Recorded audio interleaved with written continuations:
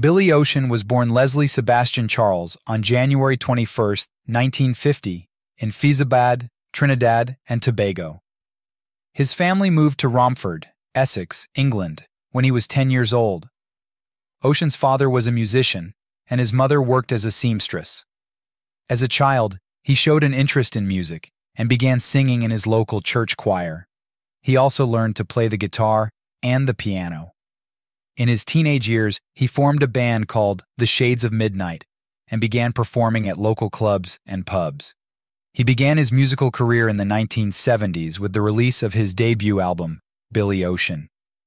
The album was not very successful, but his second album, City Limit, released in 1980, put him on the map. The album produced two hit singles, Nights, Feel Like Getting Down, and Stay the Night, which both reached the top 20 on the US R&B chart. His third album, Suddenly, released in 1984, was a breakthrough for him. The album produced several hit singles, including Caribbean Queen, No More Love on the Run, which reached number one on the U.S. Billboard Hot 100 chart. The album also earned him a Grammy Award for Best Male R&B Vocal Performance.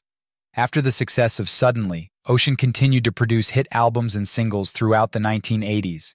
His most successful album, Love Zone, released in 1986, produced three top 10 hits, including There'll Be Sad Songs to Make You Cry, and When the Going Gets Tough, the Tough Get Going, which was featured in the film The Jewel of the Nile.